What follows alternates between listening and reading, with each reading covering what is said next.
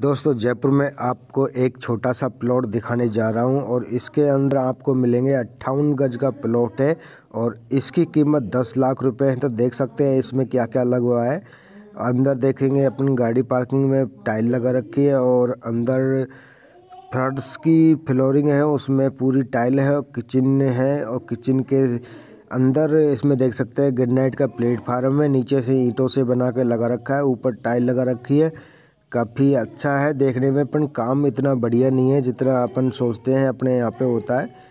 और इसके साथ में आपको इधर एक बड़ा कमरा मिलेगा, इसमें कमरे में भी फर्श पे टाइल लगी हुई है और इधर अलमारी की जगह बनाई हुई है ताकि इसमें सामान वगैरह, कुछ कपड़े तत्ते कुछ रख सकते हैं। और इसमें साथ में आप कलर देख सकते हैं, कलर में आप दोनों दीवारों पे अलग अलग कलर किया है। ये ऊपर से जारदान दिया हुआ है इसमें रोशनी के लिए और ऊपर पीओपी की डिज़ाइन बनाई हुई है। पतली सी दो सूत की पीओपी करके इसमें डिज़ाइन बनाकर काफ़ी अच्छा लुक बना रखा है। इधर देखते हैं, बाथरूम है, बाथरूम और टॉयलेट दोनों साथ साथ में है। इसमें करीब छः फीट हाइट तक टाइल लगा रखी है और नीचे डब्ल्यूसी का एरिया को ऊँचा कर रखा है, तीन इंची, और बाकी नहाने वाला एरिया डाउन है।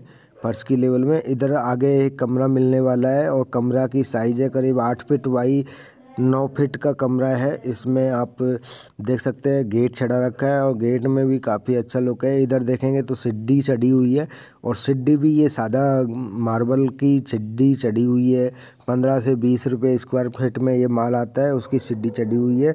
अगर आपको इस तरह का मकान चाहिए ख़रीदने के लिए तो आप ख़रीद सकते हैं। इसकी मोल्डिंग देख सकते हैं, कितनी नीचे से पट्टी चिपका के फुल मोल्डिंग कर रखी है। हाँ और ऊपर का टेरिस देखेंगे तो इसमें काफ़ी स्पेस मिल जाता है अपन को बैठने उठने के लिए। तो थैंक यू दोस्तों, आपको इन्फॉर्मेशन देने के लिए थैंक यू और आगे वीडियो को सेंड करना। जय हिंद, जय भारत।